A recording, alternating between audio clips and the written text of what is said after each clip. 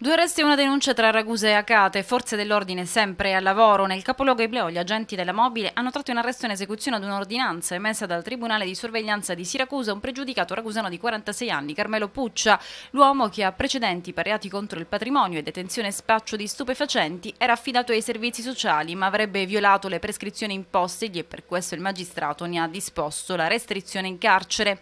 Ad Acate invece i carabinieri hanno rintracciato e arrestato un pregiudicato romeno, Aaron Edward, 20 29 anni, in esecuzione ad un provvedimento emesso dalla magistratura del suo paese.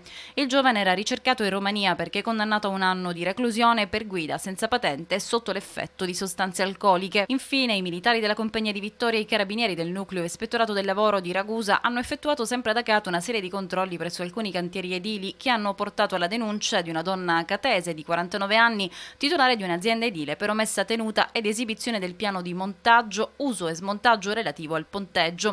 All'imprenditrice sono state inoltre elevate sanzioni per un importo complessivo di circa 2.000 euro.